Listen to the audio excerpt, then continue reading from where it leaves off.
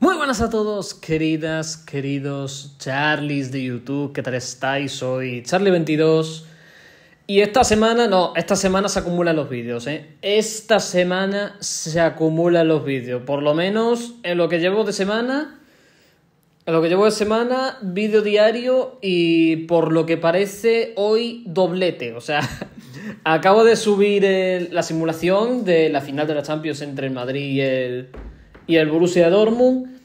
No tenía pensado ya subir. ya la cuota diaria ya está cumplida, ya todo ok. Pero la actualidad manda. Y hay noticias. A ver, más o menos sí, se podría decir de mercado. Se podría decir más o menos de mercado en el enclave Barça. Y es que saltaba esta mañana la noticia de que tanto Deco como Boyan hicieron un viaje a Londres, hicieron un viaje a Londres, y lo que yo, la verdad, sinceramente lo tengo que decir, mm, no me esperaba que fuera para esto en absoluto. ¿eh?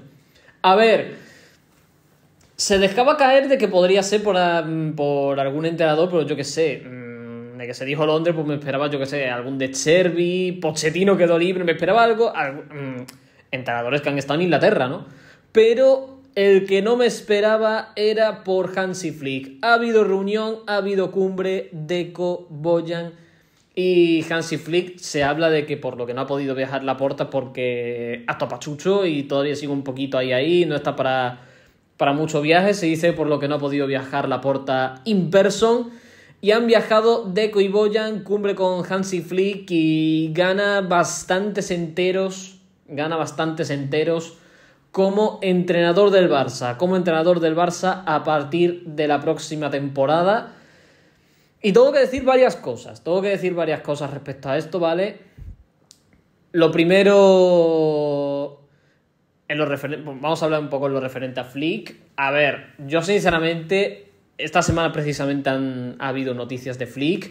Precisamente el lunes se conoció de que, Floren- de que Florentino, madre mía, cómo estoy yo, cómo se nota que no estoy acostumbrado más de un vídeo por día, de que Pochettino iba a dejar de ser entrenador del Chelsea, de que no iba a continuar el Chelsea. Y uno de los nombres que sonaron era el de Hansi Flick. Y se dijo de que Flick rechazó la propuesta del Chelsea porque está a la espera de otros proyectos. Yo ya tenía la mosca detrás de la oreja con lo de otros proyectos. Yo ya tenía esa mosca detrás de la oreja. Y hombre, a ver, yo sinceramente, por el esfuerzo que ha hecho el hombre, porque la verdad ha hecho, ha hecho esfuerzo el hombre, primero, rechazando ofertas, porque no solamente rechazó la del Chelsea, el Bayern en esa búsqueda eterna de, de entrenador, uno de los que contactó fue con Hansi Flick. Hansi Flick también dijo que no. O sea, eso por un lado, el rechazar equipos por un lado, y luego por otro lado también, en esa rueda de prensa, que madre mía, es que la rueda de prensa, sinceramente, conforme pasan los acontecimientos cada vez, mm, me parece más paripé, ¿eh? Y no por parte de Xavi, precisamente, y no por parte de Xavi, sino por los otros, por los otros que estaban en esa rueda de prensa, qué paripé, pero bueno, ya hablaré de eso, ya hablaré de eso. Pues a pesar de ello, pues Flick pues quiso seguir esperando. Quiso seguir esperando cuando lo normal, sobre todo uno ve esa rueda de prensa en la que se confirmaba la continuidad de Xavi.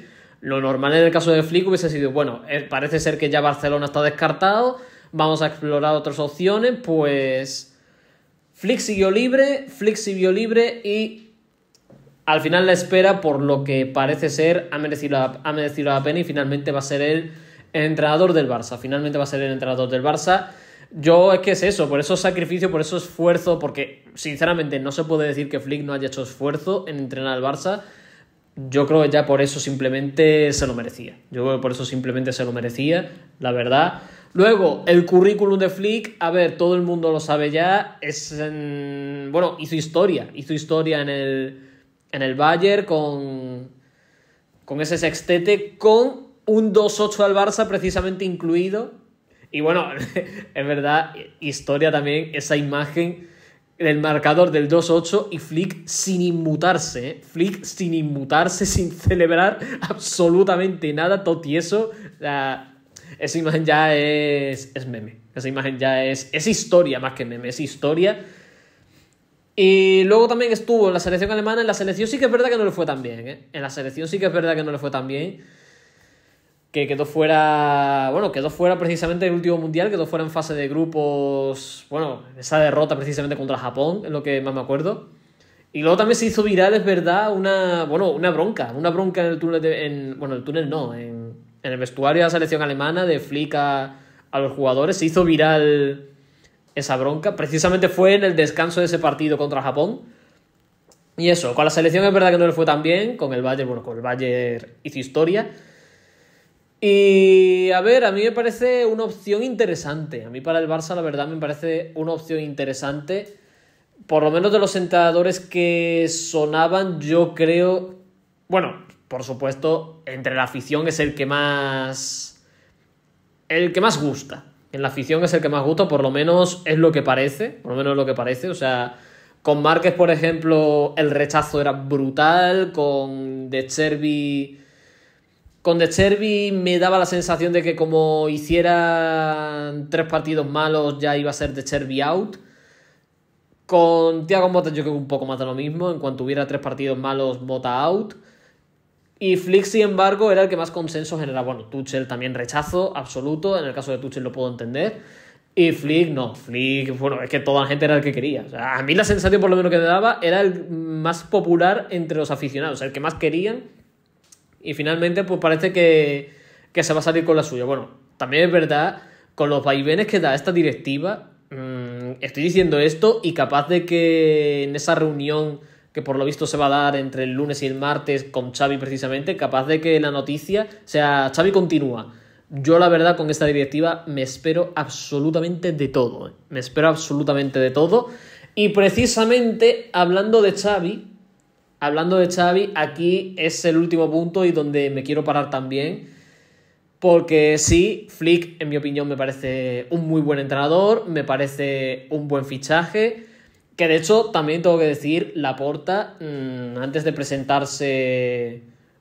A, bueno, antes y al principio de su mandato como presidente del Barça, sus primeras opciones era la. Bueno, su primera opción era la escuela alemana. O sea.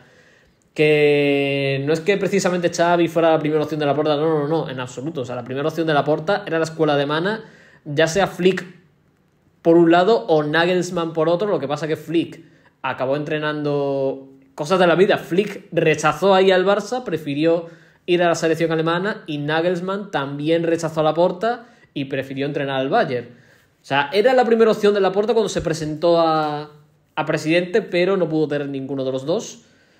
Eso también era un dato que quería dar, también era un dato que quería dar. Y ahora ya sí, ahora ya sí, hablando de, de Xavi, yo, la verdad, a medida que van pasando los acontecimientos, que van pasando los días, vaya cerdada, vaya cerdada enorme, pero cerdada con todas las letras y con mayúscula, le están haciendo a Xavi, sinceramente. Vaya cerdada, chaval. Vaya cerdada. Esa cosa ni sentimientos tiene. Que yo, sinceramente, mmm, veo esta cerdada y yo lo que pienso que el presidente es Bartomeu. O sea, que no es la puerta del presidente, que lo tienen secuestrado que tienen secuestrada la porta, ¿vale? Y el que está haciendo de presidente en la sombra, como dice Antonio Recio en la casa vecina, el presidente en la sombra está siendo Bartomeu, porque yo la cerdada que le están haciendo es que ya no es un entrenador cualquiera, es que se lo están haciendo a una jodida leyenda del club. O sea, es que yo incluso hasta me atrevería a decir a una de las mayores leyendas del club. O sea, es que yo en un ranking de leyendas del Barça, yo pondría, por supuesto, el primero a Leo Messi, el segundo pondría a Johan Cruyff, el tercero pondría a Guardiola, y yo sinceramente mmm, creo que de cuarta, de cuarta o quinta mayor leyenda del Barça, sinceramente yo creo que podría ser Xavi perfectamente. O sea, de la casa, de la casa que lo ha ganado absolutamente todo con el Barça, uno de los mejores centrocampistas de la historia. Y vale, sí, como entrenador en esta última temporada ha dejado mucho que desear, sí que es verdad. Pero yo qué sé, tío, por lo menos en la anterior te ganó una liga, te ganó una supercopa. Y yo la verdad, la cerdada que le están haciendo, tío, porque se está hablando también de que sí, de que. de que se han reunido con Fleet, de Cuiboyan en Londres, pero que todavía a Xavi no le han comunicado nada. O sea, se están reuniendo ya con otro entrenador sin haberle comunicado al que tienes que lo van a echar. Y lo último que ha salido de Xavi en la rueda de prensa post partido contra la Almería es que es eso, o sea, que hablan de la planificación con Deco, no sé qué, y luego el mismo Deco, días después, se va a Londres a reunirse con otro entrenador sin decir nada. Sin que Xavi sepa absolutamente nada, que Xavi por lo que se está enterando es por la prensa. O sea, Laporta no le dice nada, Rafa Juste no le dice nada, Deco no dice nada, nadie le dice nada. Nadie.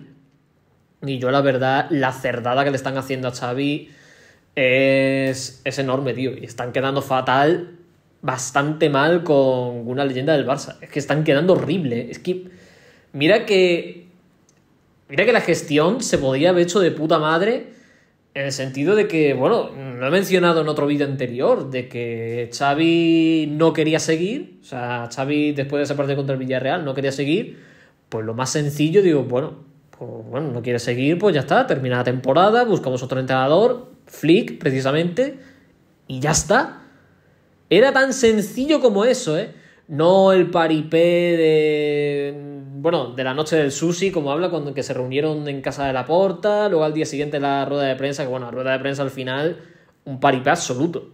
La rueda de prensa, por parte de la junta directiva, un paripé absoluto y un curso de interpretación de puta madre. Mira que me acuerdo, mira que creo recordar que la porta lloró ese día, ¿eh?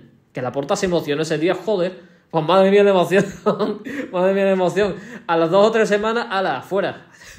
Fuera y sin decirte nada, ¿eh? Fuera y sin decirte nada, porque es eso. No hay constancia de que se le haya comunicado nada a Xavi, ¿eh? No sé, yo la verdad que lo veo totalmente lamentable. Lo veo totalmente lamentable la, la gestión con él. Claro, ya me imagino que el lunes o el martes que dice que va a haber una reunión, ahí ya sí que se lo dirán, pero claro, se lo van a decir cuando Xavi ya desde la prensa ya sabe todo. O sea, ya sabe lo de la reunión con Flick, ya sabe que Laporta estaba cabreado con él, que no sé qué. Una cerdada y muy mal, tío. Muy mal. Muy mal gestionado todo, pero totalmente. ¿eh? Muy mal gestionado todo totalmente, ya digo. Hasta el punto. A ver, no sé si hasta el punto de moción de censura pero vuelvo a repetir que esto. Esto me pegaría de un Bartomeu. De un Bartomeu, de un, Ros de un Rosell. O sea. Un tipo de movimiento que me pegaría por parte de esa gente, pero no sé, la verdad que por parte de la porta. Me ha decepcionado muchísimo, ¿eh? Es que sobre todo el tema ese, filtrar, filtrar, filtrar, en vez de ir de cara. En vez de ir de cara con Xavi y decir, oye, que me ha cabreado esto, esto y esto y he cambiado de opinión, no quiero que sigas. Pero ir de cara, no filtrar, filtrar, filtrar. Es que, madre mía, es que... A ver, lo único positivo en todo esto es que Xavi está quedando como víctima y Xavi ya lo que viene siendo públicamente, pues eso, está como limpiando su imagen pública en el sentido de que el que se está ensuciando públicamente y bastante es la porta. Bastante, de hecho, ¿eh? Porque madre mía, es que qué mal se ha gestionado este tema, ¿eh? Qué mal, tío. A ver, yo quiero pensar que con Flick, en el caso de que la cosa no vaya viendo, le hagan la misma cerdada, porque si no, yo ya no sé, ¿eh? Si no, yo ya no sé, tío. Es que sería, vamos, lamentable. Bueno, ya está siendo lamentable, sería el doble de lamentable aún, pero bueno. En fin, dejo el, dejo el vídeo hasta aquí, ¿vale, gente? Este breve vídeo hablando de que, bueno, de que puede ser, de que puede ser de que Flick sea el próximo entrenador del Barça. Vuelvo a repetir, con esta junta directiva yo ya no me mojo. O sea, lo mismo hoy sale eso. O sea, sí, ha habido reunión de Coboyan por Flick, pero luego llega el lunes o martes que viene, Xavi sigue. Que por supuesto me parecería otra cerdada a Flick, porque mira que Flick también ha hecho lo suyo por, por fichar, pero bueno. En fin, dejo el vídeo hasta aquí, like si os ha gustado y por más vídeos. Un saludo.